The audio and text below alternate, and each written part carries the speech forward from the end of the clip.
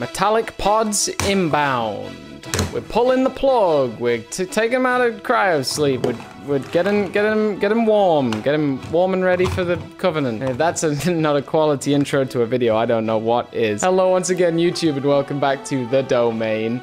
Today we have, and you already know this, that I have these four cryopods. In a live stream about a month ago, I unboxed these. I was so delighted to find them in Hong Kong. I literally never find Mega Bloks in the wild here. My heart was a little heavy because I was missing the fourth pod. Lo and behold, He's here to stay, baby. I got the fourth one, and it was actually from the same store. When I bought these three, I asked the woman, I said, do you have any more? She said no. I told her to get some more in stock if she could. She had a couple of old ones, just basic metallic drop pods, which I wasn't interested in at the time, but this caught my eye on the bottom shelf. Actually, just when I was walking out of the store, I saw this. I didn't notice it at first, and it's the last one, which completes the set and finally means I can do a review of all four so let's try and get this open. I remember even on my live stream, these are, these are sealed tight. There we go. All right, so the metallic drop pods. This one in particular holds a very special place in my heart. Back at Bloxfest 2015, Mega Construx actually brought this to the event, this blue metallic drop pod, and it kind of sent everyone wild because it had no backstory, nobody knew what it was, and it was just sort of chilling at my event. So it was very strange that it was there, and even stranger that the pods didn't see the light of day for years after. Like these things took ages to come out, and there's the full lineup. Wow. Now, the first thing I've got to say is the color choices are very strange. Very strange. So we've got two to start off with that kind of makes sense. These two are both silver with silver visored Spartans. The colors match perfectly. And I unboxed these first first and thought, hey, that makes total sense. And then it gets a little weirder because you have this silver one. This might be the weirdest. This one is also quite strange. These are both odd because they didn't follow the silver pattern. It would make sense to me if there were two silver glass doors and two gold glass doors, but then this orange one. Particularly the fact that this is silver, which is the inverted color of the glass doors on these ones. It just makes no sense at all to me. And then we've also got this Spartan, which yes, the colors do match, but just so strange that these two have silver visors and this one has a silver body. Very odd to me, but it still looks great. The other thing that is a real shame is that these don't open. These cryo doors don't open, so they are basically pointless. The old cryo bay with the Master Chief, a very iconic Halo 4 set, had an opening cryo door. It was beautiful. We saw it return again in the Forward Unto Dawn on the inside of the cryo bay, but this one, nah, uh, it's got, it's got nothing. It's got a fat load of nothing, but it's still a great little toy. Not much of a display piece either and it doesn't have a Mega Bloks base, so you can't really attach it to anything, but still, I still like this quite a lot. To review, we've got the Spartan Recruit, and then two Spartans here. This is the base Spartan for Halo 5, and then this is the base Spartan for Halo Wars 2, kind of showing you what kind of time this came out in. There were still a lot of fans for Halo 5, still a lot of fans for Halo Wars 2, so it made sense that we had both of those Spartans, particularly this one. This is like absolutely gorgeous. Like this is one of my favorite Spartans. Probably my favorite Halo Wars 2 Spartan I've ever unboxed, so that's awesome. But then we've got this. Let's pop him open.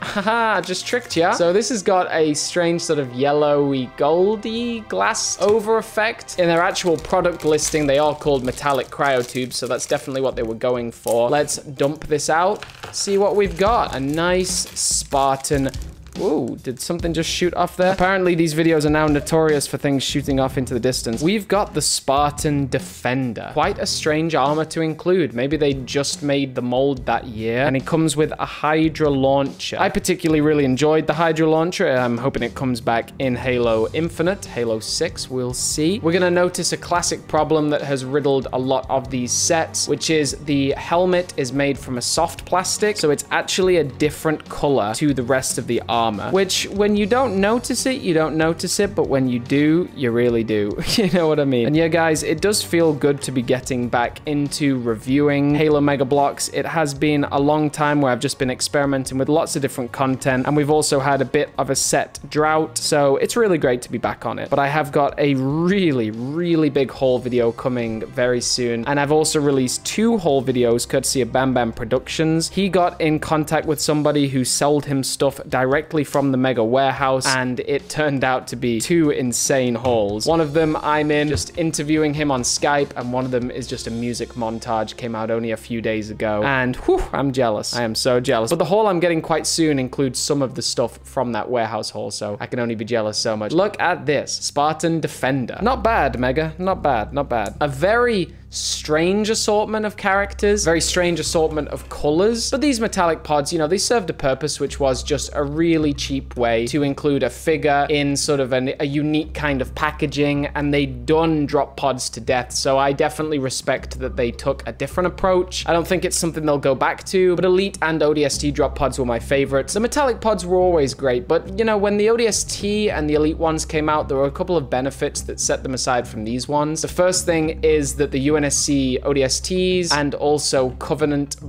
especially Elite Minors, they're so good for army building and you really want as many as possible. These Spartans, when you buy one, you've bought one. I would never buy multiple of these and obviously cryopods don't really fit into many dioramas. I know a lot of people have had fun making full cryo bays, but they're also strange when they, they these like metallic colors. Drop pods, I don't imagine they would be metallic in game, but you can at least imagine that they could be. You could imagine that some ODSTs would actually just choose to chrome spray paint them, but cryopods, a little bit more strange. So these serve as just a really cool, unique, one-of-a-kind line, which I don't think will come in the future, but still, we get access to some really good Spartans. I've heard many different people saying that their favorites are many different kinds. My favorite is definitely this standout Spartan from Halo Wars 2. He looks exceptional. I love that silver visor, and I think I would have preferred they all had silver visors. It would have made a little more sense to me, but at the end of the day, I do respect that the visors match the glassed over color on each of the cryopods. And although the cryopod doors don't open, they still make a really fun set piece. Like I'll still enjoy displaying these. I just wouldn't use them in a diorama, but you know, not everything is for a diorama. So thank you very much for tuning in today, guys. I hope you enjoyed what you see. Please do make sure to like this video and let me know in the comments if you've got these sets and also if you're enjoying these kind of reviews making a comeback on the channel. Have a great day out there. Stay awesome, stay safe, and all of the Spartans are signing off. See you next time.